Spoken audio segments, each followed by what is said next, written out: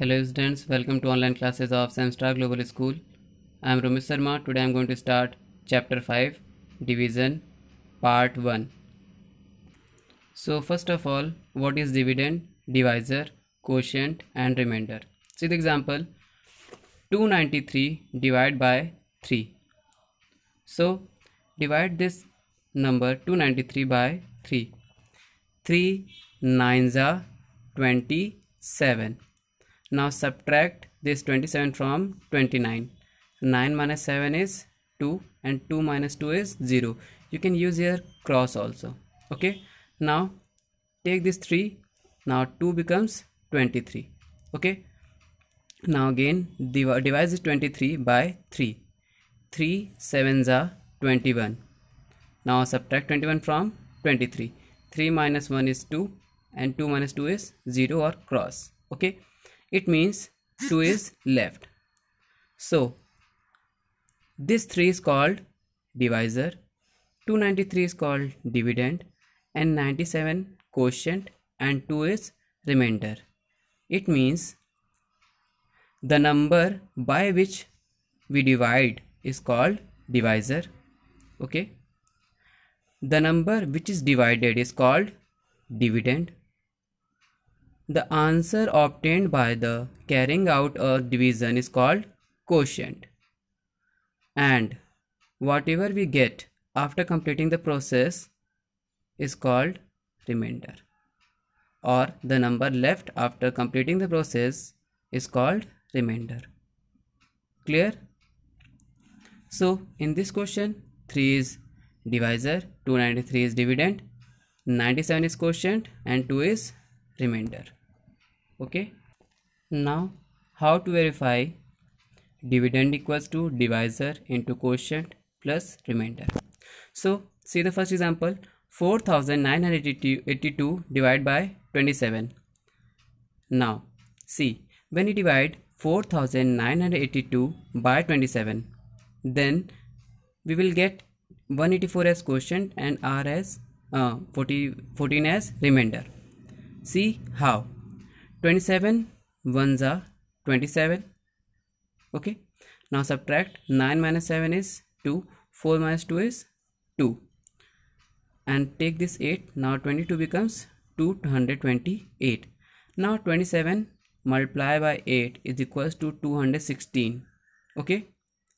Now subtract 8 minus 6 is 2 2 minus 1 is 1 2 minus 2 is 0 now 12 and after taking this 2 12 becomes 122 now 27 4s are 108 now subtract 8 from this 2 after taking the 1 carry 2 becomes 12 12 minus 8 is 4 and 1 minus 0 is 1 okay?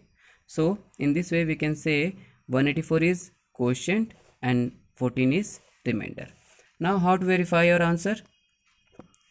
Formula of dividend equals to divisor multiplied by quotient plus remainder.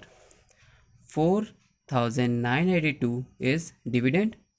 Now 27 as divisor. 184 is quotient plus 14 as remainder. When we multiply 27 into 184 then we will get 4968 4968 plus 14 4968 plus 14 equals to 4982 in this way we can say dividend equals to divisor into quotient plus remainder. Clear? Now properties of division. First property if a number is divided by 1 the quotient is the number itself. It means if we divide a number by 1, 23 divided by 1 is equals to 23. 16 divided by 1 equals to 16. 2000 divided by 1 equals to 2000. It means if we divide a number by 1, then we will get quotient is the number itself. Clear? Now, second property, if a number other than 0 is divided by itself, it means 148 divided by 148, same number, then we will get 1 as quotient okay. Similarly 25 divided by 25 1 1 lakh divided by 1 lakh 1 okay. Now third example or third property if a sorry if 0 is divided by a number okay other than 0 the quotient is 0 it means 0 divided by 198 equals to 0 0 divided by 1 crore 0 0 divided by 1 equals to 0 clear? Now next property every division sum has a division fact and a multiplication fact. See 42 divided by 6 is equals to 7 you know that?